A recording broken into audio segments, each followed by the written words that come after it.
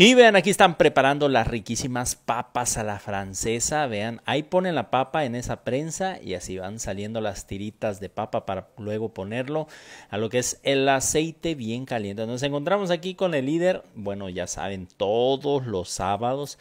Aquí en este tianguis de la cantera vas a encontrar estas riquísimas botanas. Tiene salchipulpos, tiene salchitacos, tiene elotes, tiene tostielotes, también tiene tostitos que le ponen su cuerito, su salchicha. Y bueno, pues bien preparado. También tiene papas fritas y bien preparadas. Y bueno, pues aquí ya está terminando de hacer las papas para ponerlo en el aceite.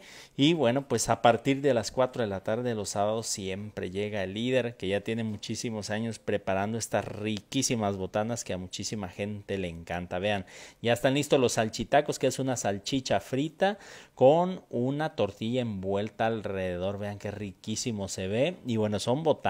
Tú ya después le ponen la cápsula, eh, le pueden poner crema, chilito, aderezos, lo que tú quieras le agregan.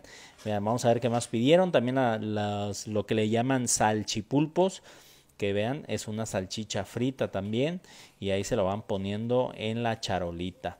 La tienen que llenar. Esta es una charola grande. Hay charola chica mediana y grande la que tú prefieras. Y bueno ya vieron ahí se está haciendo lo que son las papas y lo pasan de este lado y ya lo van a sazonar. Le van a poner lo que pidan salsa tienen crema mayonesa también capsum, ahora sí que queso amarillo también, vean ahí están las papitas que se están haciendo. Y la verdad que estas botanas están buenísimas, están riquísimas para que se vengan a dar una vuelta a Tepic Nayarit, en este tianguis vas a encontrar pues de todo, una amplia gastronomía y bueno en esta ocasión nos tocó visitar al líder preparando estos riquísimos